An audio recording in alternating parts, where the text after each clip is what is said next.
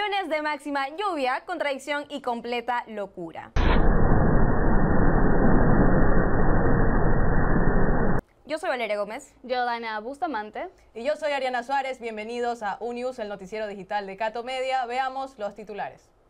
Apagones porque no llueve, apagones porque llueve mucho. Sedimentos en las hidroeléctricas amenazaron a varias provincias del país con dejarlas sin luz. Separatismo de los A los Game of Thrones, Tumbaco, Cumbayapo y otras zonas del Distrito Metropolitano de Quito buscan ser un cantón independiente de Quito.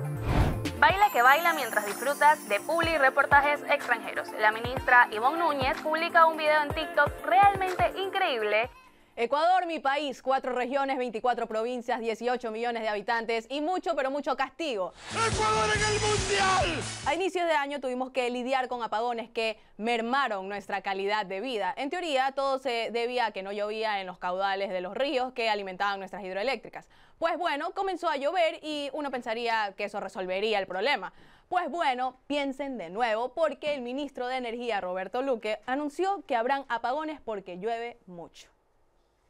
Ahora, yo no sé, pero capaz si hay apagones porque no llueve y ahora porque llueve mucho, capaz, pero capaz, solo capaz, eh, el problema no sea la lluvia, pues miñaño en todo caso. El mismo domingo por la noche el ministro salió todo contento, todo rápido a decir que los apagones ya no van más y que se resolvió el problema. Vaya qué eficiencia. Eh, en estos últimos minutos se ha dispuesto la activación de dos turbinas en Coca-Cola Sinclair con el embalse compensador y esto va a generar que los cortes se cierren inmediatamente. Los mantendremos informados. Si yo fuera mal pensada, creería que el ministro crea los problemas y luego se los resuelve para que todos pensemos que es un crack, pero menos mal, no soy mal pensada. Problema resuelto.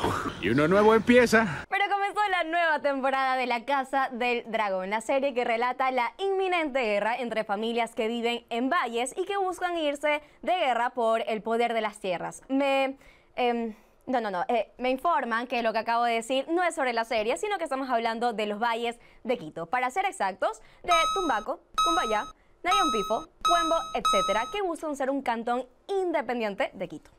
El argumento, desde luego, es que la gente está cansada del centralismo capitalino que prioriza lo que pasa en la cabecera cantonal de Quito e ignora a todos quienes viven en esas zonas.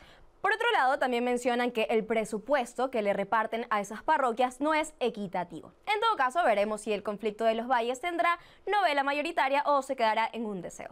Si el quiteño quiere denotar individualidad, dice, cada uno, cada uno. Momento de bailar. Y si no me creen, pregúntenle a la ministra de Trabajo, Ivonne Núñez, quien subió este increíble video en TikTok. Los dueños del swing, pa' que sepa. Sí, así me gustan mis ministras, sin miedo a la vergüenza ajena y con compañeros con menos ritmo que una mesa al lado para que parezca que ese movimiento que hacen es un baile y no un ataque producto de un aneurisma. Bien. Qué pinche vergüenza me das. Vayan bailando a los comentarios y respóndanos qué les gusta bailar, los leemos. Y si no, vean a este perrito con harto ritmo. Left, right. Left, right. Un gran abrazo y nos vemos mañana.